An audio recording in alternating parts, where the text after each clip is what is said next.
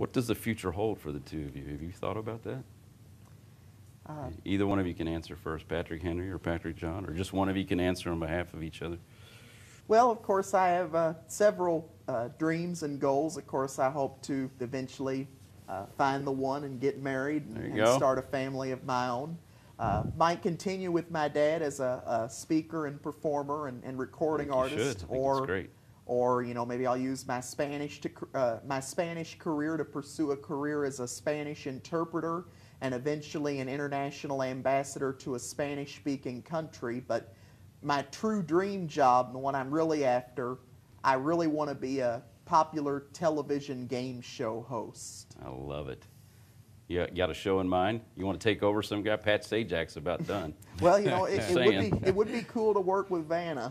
well, But, she uh, might be done too, but that's another story. Well, yeah, I've watched him do his show for, for quite a while, and I've loved the, the job that he's done with it throughout the years. Uh, John, you want to? What the future holds Holds. for me, I don't know. Uh, I just take it as it comes. I like I'm, it. I'm not, I like uh, you know, everything.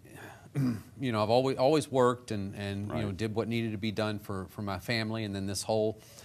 Uh, you know, this whole story with Patrick Henry unfolded, Mm-hmm. and we, we, we went that route. So, uh, you know, just kind of, uh, I'm very blessed to be able to, to just kind of wait Mm-hmm. and, and, and see what happens. I'm not actively pursuing Right. anything other than a lower handicap love it. on my golf game. And that's a big achievement And, if uh, you can do it. And, and uh, for my second son, Jesse, is a, uh, he's no longer in the golf business, but he was an assistant pro, and Mm-hmm. he gives his dad some, some great golf lessons. Right.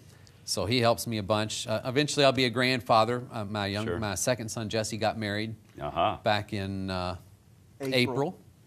So not that they're, you know, not that there's, you know, there's no rush. There's no Right, right, right, pressure, right, right. Megan. Right, right. You know, but you know, eventually I'll have a, a we'll have grandchildren, and you know, Sure. we'll, my, you know, we'll just my plans are to grow old and and happy, Yeah. and and just enjoy life. Now, this next question is one we've asked this all the of our guests. one? This is the loaded one.